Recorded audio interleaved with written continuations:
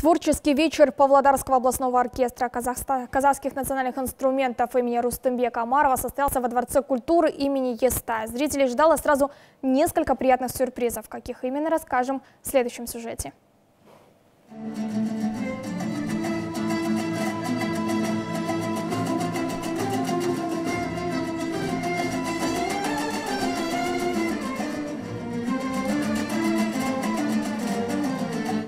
Творческий вечер был посвящен 15-летию оркестра Кербезем, 95-летию выдающегося композитора, народного артиста Казахстана Кинжибека Кумзбекова. Музыканты представили новый репертуар. Руководил процессом дирижер Государственного академического фольклорно-этнографического оркестра имени Нургесы Тлендиева Утырар Сазе Муслим Амзе. Появление заслуженного деятеля Республики Казахстан на сцене Дворца культуры стало настоящим подарком для любителей искусства. оркестрмен э, Над подготовкой этого концерта с оркестром мы работали 3-4 дня. Очень хороший оркестр, отличный уровень, так как здесь работают выпускники музыкальных колледжей, консерваторий, университетов искусств Астаны и Алматы. По словам Муслима Амзе, каждый дирижер должен уметь найти язык любого оркестра. Ведь музыканты и дирижер – одно целое. Важно понимать друг друга без слов. Но с коллективом Кирбезем было очень приятно и легко работать, говорит Муслим Амзе. кәсіби музыканттармен жұмыс істеу жеңіл с профессиональными музыкантами всегда приятно работать. Теперь фонд Павлодарского оркестра пополнили 20 новых работ, которые, я уверен, еще не раз порадуют зрителей. Музыкальный вечер не оставил зрителей равнодушными. По залу рассыпались восторженные аплодисменты. Областной оркестр казахских национальных инструментов имени Рустамбека Амарова только за год принимает участие в свыше 200 мероприятиях, дает порядка 7 концертов. Свой 15-летний юбилей оркестр планирует отметить в ноябре.